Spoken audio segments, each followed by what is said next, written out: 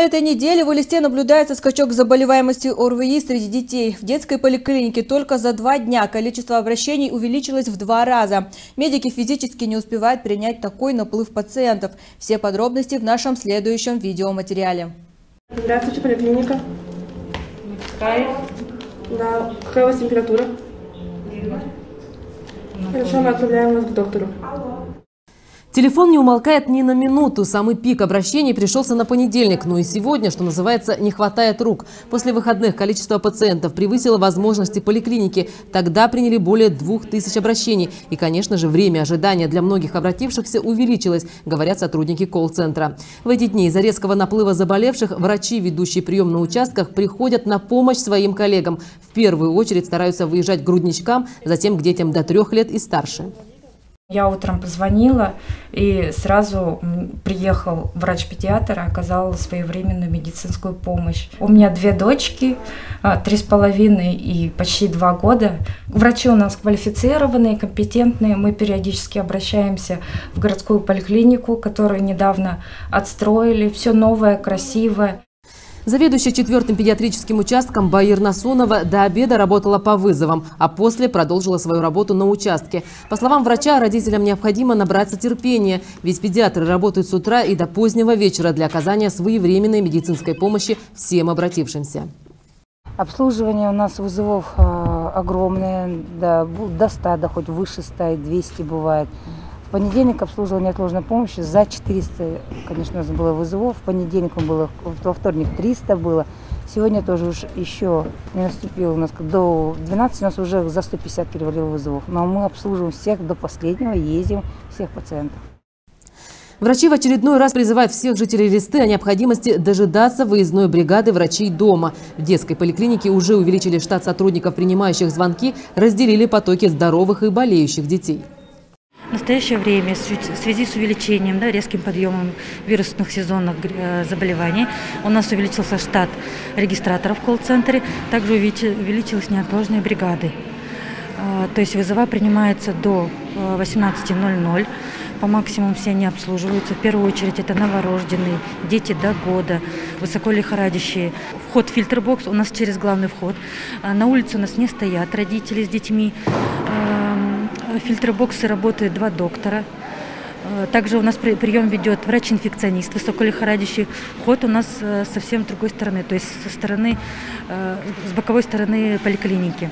Есть такая просьба к родителям не приходить в поликлинику, вызвать доктора по единому колл-центру номеру, по номеру неотложной помощи и дожидаться доктора.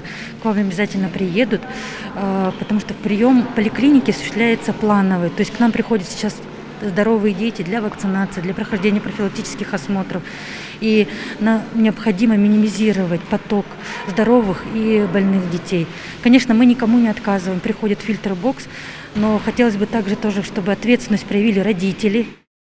Также необходимо учитывать, что люди в белых халатах ежедневно борются за жизнь пациентов с тяжелой формой COVID-19. В связи с этим на врачей первичного звена ложится большая нагрузка. У меня много родственников, в том числе родная сестра старшая, медработник. Я скажу откровенно, очень большие нагрузки. Я даже не знаю, как они выдерживают эти нагрузки. Я недавно э, приболела, вызвала скорую, приехали и проконсультировались, да. Выписали мне список лекарств, я сейчас на ноги встала и нормально могу ходить.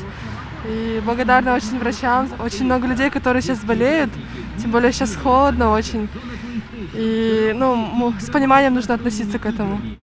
Ситуация по заболеванию ОРВИ и гриппу на контроле правительства и Минздрава республики. В аптеках и больницах имеется необходимый запас противовирусных препаратов, масок и дезинфицирующих средств. В школах и дошкольных учреждениях проводятся беседы о мерах профилактики ОРВИ и гриппа. Айна Басхаева, Восточный альянс, Калмыкия.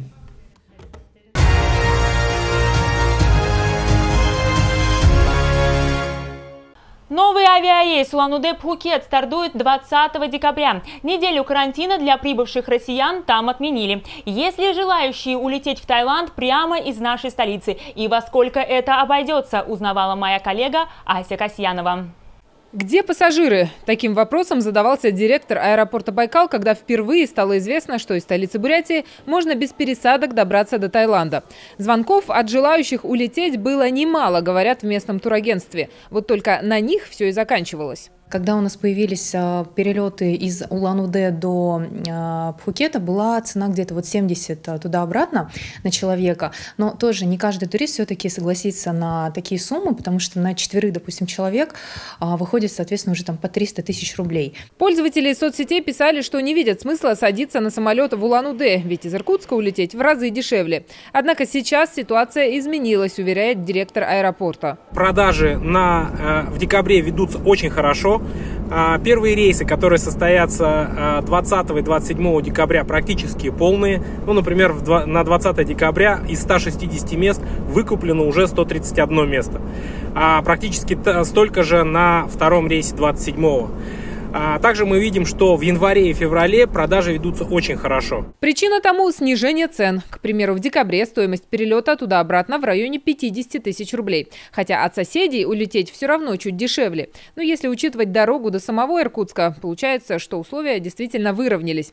Карантин для россиян сейчас отменили, но часть ограничений все же осталась. На Пхукет могут полететь только э, люди, вакцинированные спутником ВИ двухдозным. А, а нужно пройти обязательно три ПЦР ПЦР-теста один вы делаете а, до того, как улететь на Пхукет, не ранее, чем за 72 часа, один делаете по прилету на Пхукет, а, получаете отрицательный ПЦР, можете передвигаться по острову. На шестой день сдаете ПЦР, а, получаете отрицательный, можете передвигаться уже по 17 провинциям, которые ну, разрешены. Мы тем временем спросили улан-уденцев, как они собираются провести свои предновогодние дни и каникулы. И если планируют поездки, то куда? Да, я поеду в Москву к друзьям. Просто в этом году выдалась возможность. Ну, возможно, поеду в Иркутск. А заграничные поездки не рассматривали? Нет, не, не рассматривал. Геленджик. Геленджик угу. Каждый год ездите или вдруг в этом году решили? Да, ездим часто. Никуда не планирую буду работать. Работать будете? Да. А вообще а каждый год ездите в Новый год? Ой, никуда не ездим, работаем постоянно. Никуда не планируете? Нет, не планирую. А почему? Ну, дома внуки, дети приедут поэтому нянчится только все. Побольше снимет запретов и, возможно, простимулирует. Вот все будет зависеть от ситуации ближе к концу года. Из популярных туристических направлений сейчас для россиян открыты Египет, Турция, Доминикана, Арабские Эмираты, Кипр и еще с десяток стран. Ася Касьянова, Восточный альянс, Бурятия.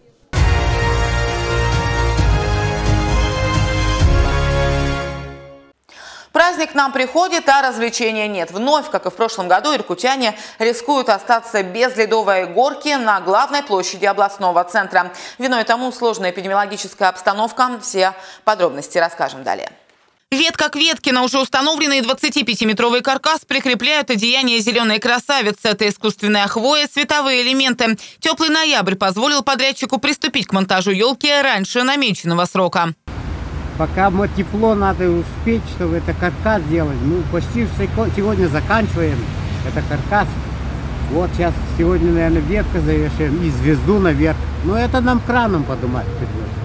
А вот ледовый городок строить еще не дает теплая погода. Художники ждут установления минусовых температур. Фигуры в этом году снова посвящены персонажам детских сказок и героям произведений Пушкина. Обещают и интерактивные экспонаты, ледяной трон, письменный стол и сани. А вот установка ледовой горки Сейчас под вопросом виной тому сложная эпидемиологическая обстановка. К слову, в прошлом году главного развлечения на сквере тоже не было. Мы написали письмо на заседание санитарной противоэпидемической комиссии Иркутской области с тем, чтобы они поставили окончательную точку в этом вопросе.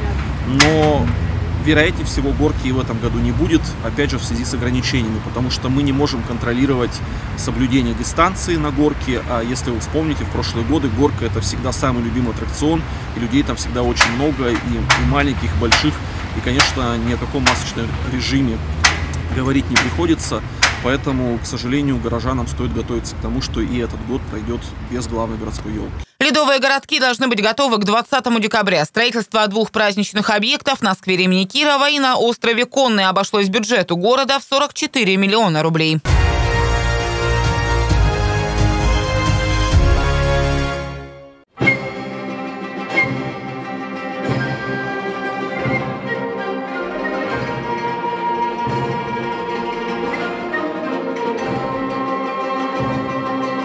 Для Бурятии Монголия – братская страна. С нашей республикой соседнее государство связывает история и культура. Для Монголии Россия – это более чем просто соседствующая страна.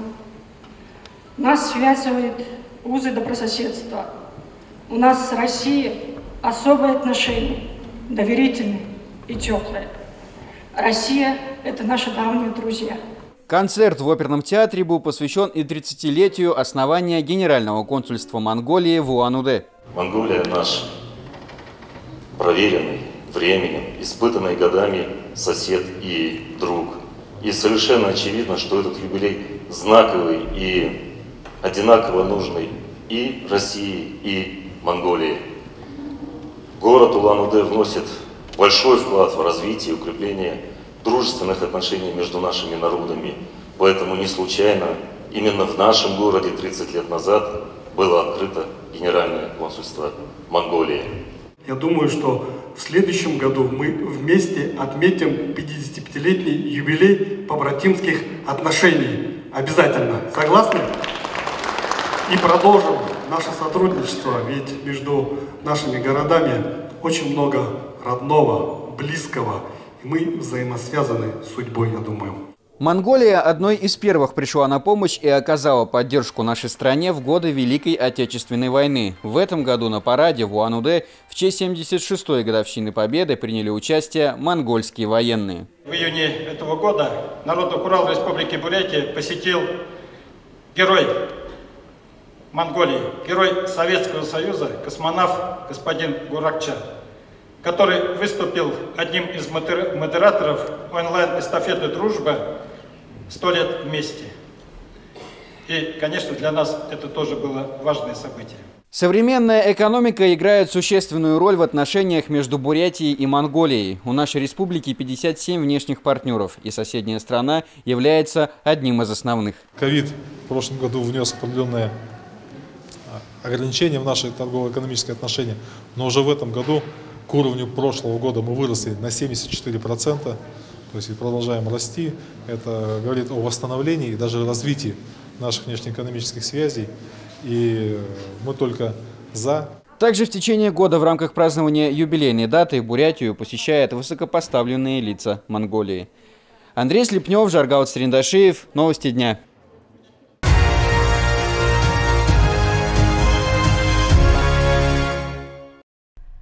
Пещеры Магау на протяжении десятилетий были центром притяжения для туристов. Чтобы сохранить тысячелетние фрески и статуи, в гротах была запрещена фотосъемка, а разглядывать древние артефакты приходилось при тусклом свете фонарика экскурсовода. Но теперь посетители получили возможность оживить древних божеств с помощью своего мобильного телефона. Сочетание древних артефактов и современных технологий дарит невероятные впечатления. Вы можете видеть Будду из девятиэтажного храма снаружи гротов Магао или летающего оленя. За реализацию проекта дополненной реальности отвечали эксперты Академии Дунхуан. 30 лет назад они начали работу по оцифровке реликвий и исторических документов гротов Могао.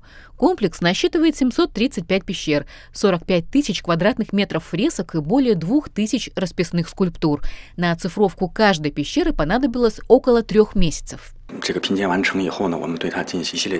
Сейчас мы проводим серию проверок после того, как закончили цифровой монтаж фресок в главном зале пещеры номер 55. Эти красные отметки — это проблемы, которые мы обнаружили. Мы должны исправить их, чтобы придать росписям исходный вид.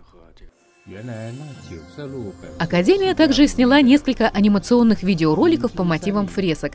Так, фреска Джатака «Король оленей» из пещеры Магау номер 257 стала источником вдохновения для создания мультфильма «Девятицветный олень».